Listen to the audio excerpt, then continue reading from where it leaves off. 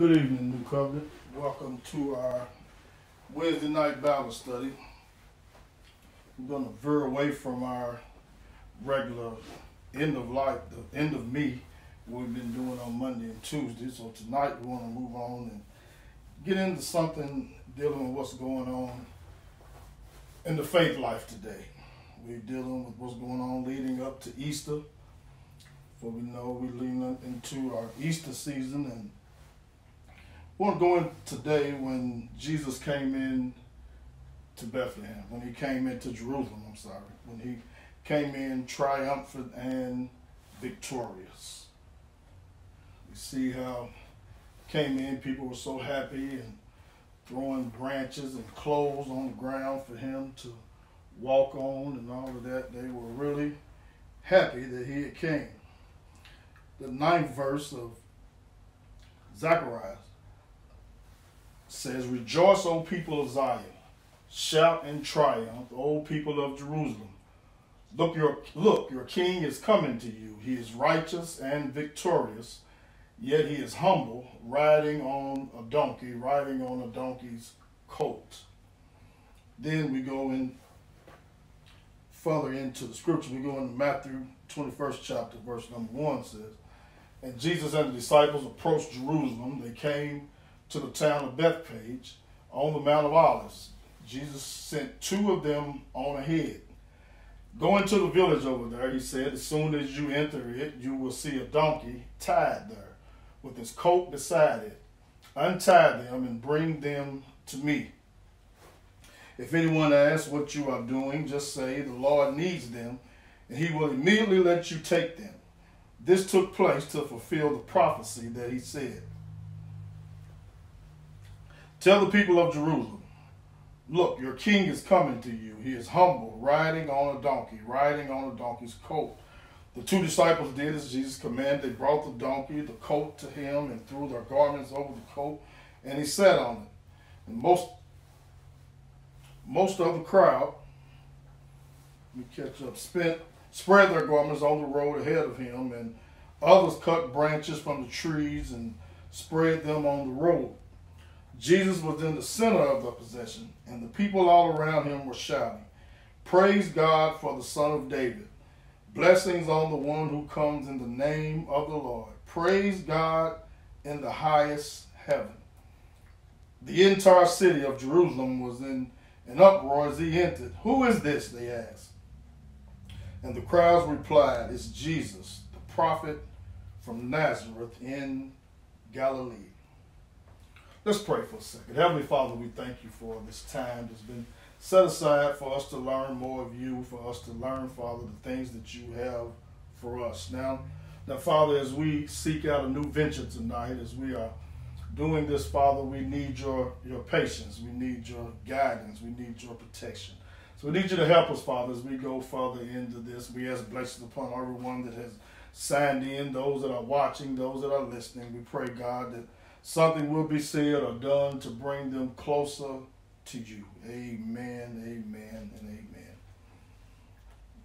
I said, we're doing this a little different. We're not at the church tonight. We're at my home tonight. So y'all bear with me, but we're getting it together. We're getting it together. The first thing we're going to look at is a new king. They have a new a new king. It, Zechariah, the ninth, ninth chapter, ninth verse says, Rejoice, O Lord, O people of Zion. Shout in triumph, O people of Israel. Look, your king is coming to you. He is righteous and victorious, yet he is humble, riding on a donkey, riding on a donkey's coat. Now, the king had one characteristic that most would not associate with authority, regal authority, we would say he was humble. He, he had a characteristic of humility. The new king would be meek and lowly as opposed to proud and haughty. He, he also would ride in on a donkey as opposed to a well-armored war horse.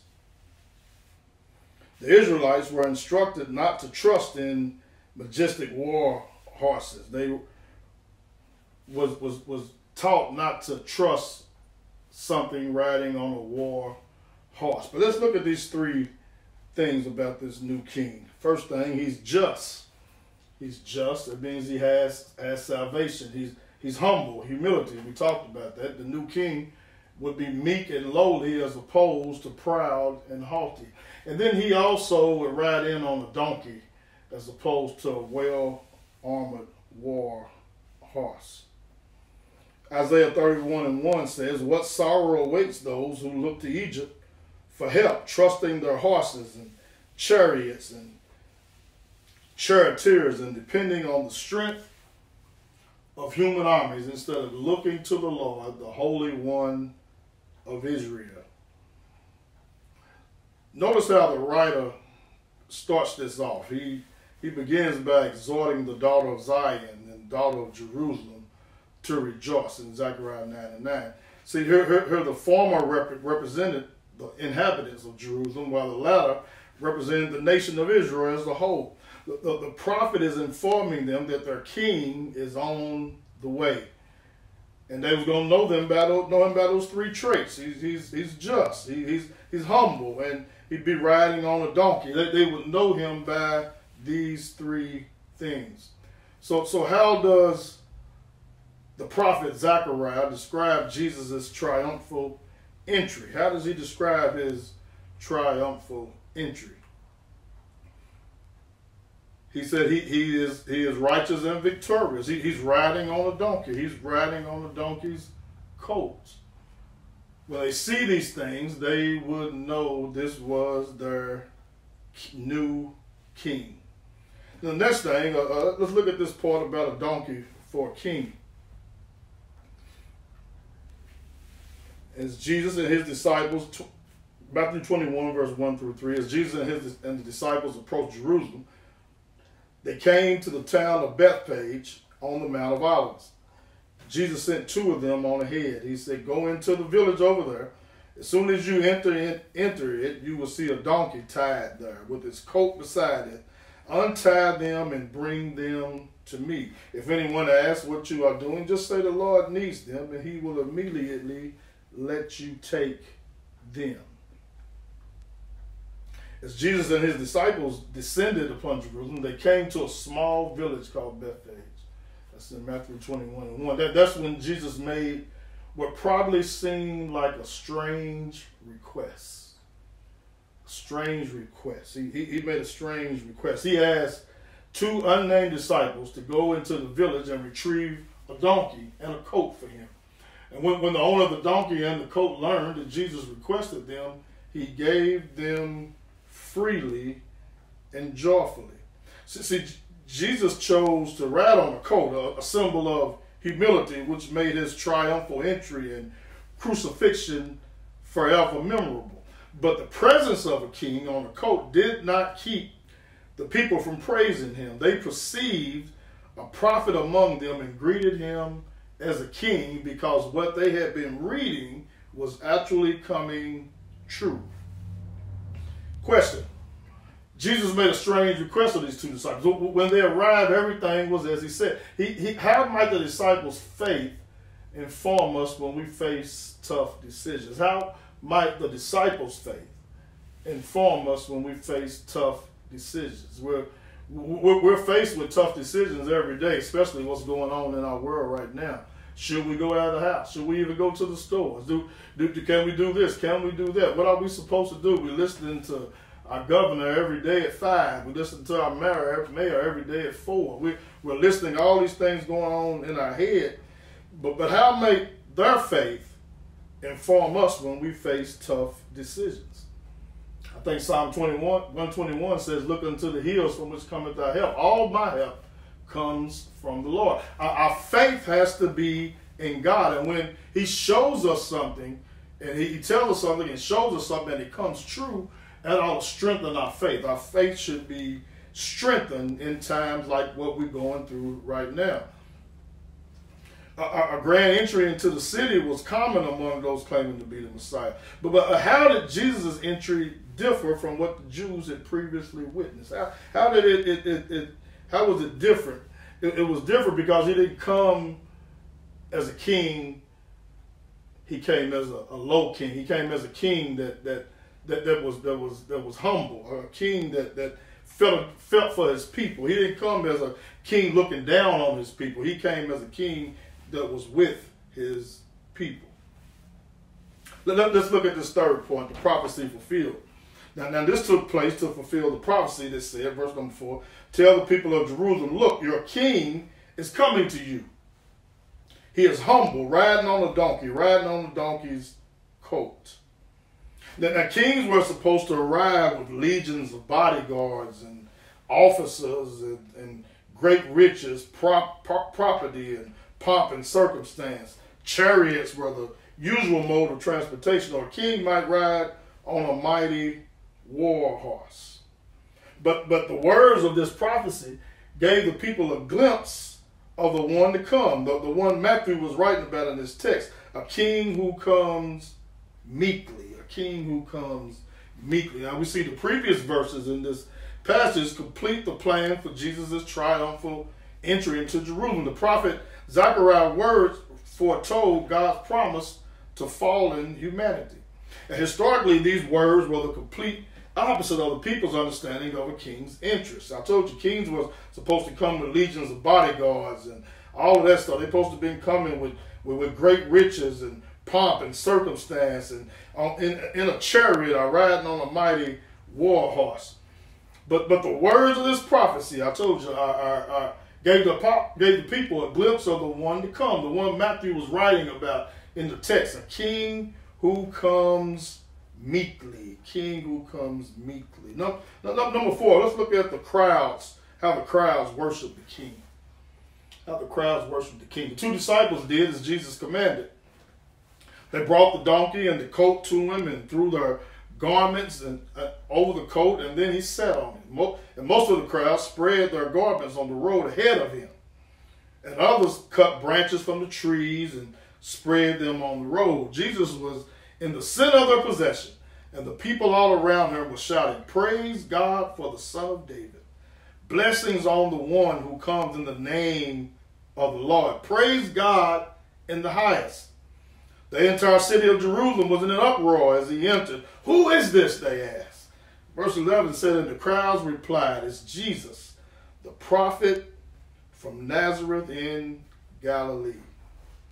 As Jesus entered, the crowd threw down their coats and branches along the road and shouted praises to him. Their, their actions honored him, and they greeted Jesus with shouts and singing of, of the hallowed psalms that, that the psalms that were custom, customary greetings to people journeying to Jerusalem for the Passover. But, but, but the people, the people knew Jesus was much more, much more than just another traveler.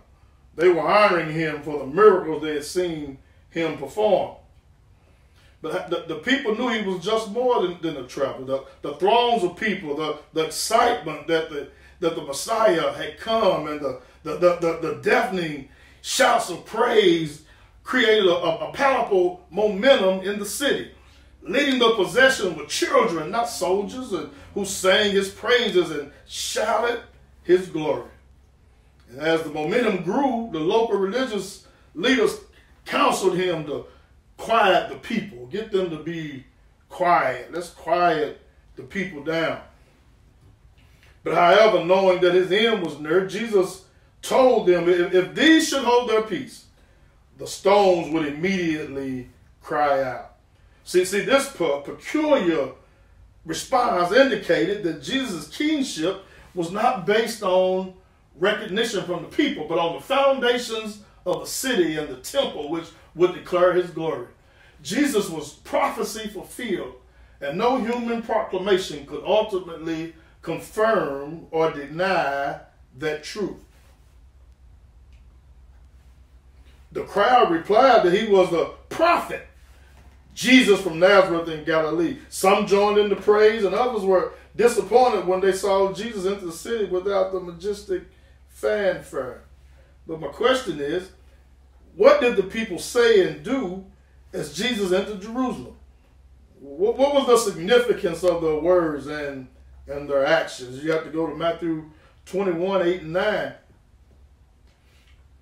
And it tells that most of the crowd spread their garments on the road ahead of him, and others cut branches from the trees and spread them on the road. Jesus was in the center of the procession, and the people all around him were shouting, Praise God for the Son of David. Blessings on the one who comes in the name of the Lord. Praise God in the highest, highest heaven. What was the significance of their words and their actions? They believed that their Messiah had come. So, what was the difference between the people of Jerusalem and the multitude who went before Jesus? Look at verse 10 and 11. That the entire city of Jerusalem was in an uproar as he entered. Who is this? Who is this guy? And the crowds replied, It's Jesus, the prophet from Nazareth in Galilee. Now we get ready to get out of here. I hope y'all got something with this. Take take this with you. Let's let's make an effort this week to remove something from our lives that can become idolatrous. If, if you look at what our world is going through, what we are going through at this present time, a whole lot of things have been taken from us. A whole lot of things have been taken from us that we we cherish, things that we idolize were taken away from us. Our, some people idolize their jobs, it's taken away from us. Some people idolize the church building, it's been it's been taken away from us. A whole lot of things that we cherish have been taken away from us. And I, think God's trying to get us to understand that, that, that, that these things come and go, but He's a constant. He wants us to understand these things that we trust in, these things that we put so much value on, really have no value at all. We should put our, our trust and all of our value should be on Him. I ask you a question: How many days, how many hours a day do you spend looking at the news, tracking the cultural news? How much time do you spend online, on your telephone, on your computer? How much time do you spend looking at things that really do not matter? How, how, how, about, how about taking a break from it? How about taking a break from all these things that we deem to be so important, that we deem to be so valuable? How about taking a break from some of this stuff? How about setting aside some time to reflect on whether it has hindered or enhanced our relationship with Jesus? I believe Jesus is trying to get us to come back to him. He shut everything down on us. He, he, he, shut down the world as we know it. The world as we knew it three weeks ago, it is no more. I, I watched the news tonight. I watched the news. I watched the news. Ford Motor Company is shutting down. They're shutting down indefinitely. They're shutting down until they say it's going to open again. The church, we can't go in the church house and have open worship with, with a crowd of people. That's been shut down. We have to do it online. We have to think of other avenues to do it. The world as we know it has been taken away from us. So let's set aside, let's do what, what we said. Let's set aside some time and let's reflect on whether it has hindered or enhanced our relationship with Jesus. These things that we put so much value in. Have they have they hurt us? What have they done? Have they hurt us or have they have they brought us closer some would say they brought us closer, some would say they took us further away. But I think this time, these, these next few weeks, these weeks that we are approaching, I heard our president say the other day that we're going to be shut down as we are at least until April the 31st. Who knows? It might go further than that. We, we looked at some, some things the other day saying it wasn't going to peak to the middle of May. So, so we don't know actually what's going to happen. Let's use this time to get closer to Him. Let's use this time to get closer to Him, the one who is able, the one who is able to do exceedingly and abundantly above all we could ask or imagine. Let's use this time to get closer to Him. The songwriter said, Just a closer walk with Thee. Granted, Jesus, if you please. I'll be daily walking close to Thee. Let, let, let's get closer to Him in this time that we have to be alone. May God bless you. May God keep you. That is my prayer. Amen.